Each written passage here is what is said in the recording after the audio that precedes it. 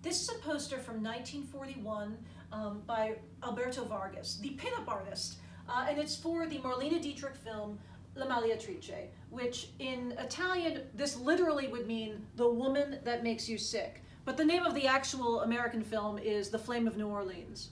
Um, and it is the first American film by René Clair, who was a French director.